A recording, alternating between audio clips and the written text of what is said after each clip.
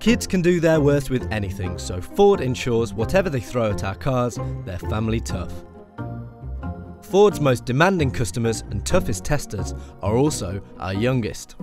The children are the most robust customer that we have because they don't understand looking after, uh, caring for an interior and so they just throw everything at it. So yes, they're a difficult customer.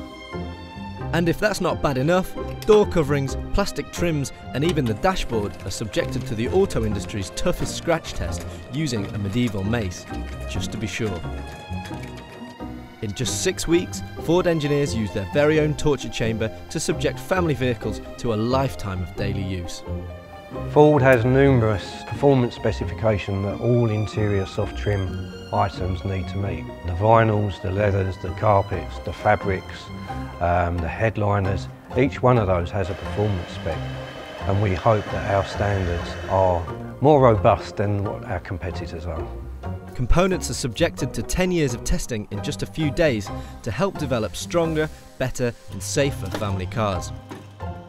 Materials are stretched, pushed, pulled, rubbed and tested to destruction. Fabrics are even burnt as part of the test program that's tough on every aspect of a family car so it can survive life with Ford's most important customers. The team has helped engineers improve Ford C-Max interiors so they can be relied on by families of all ages no matter what happens.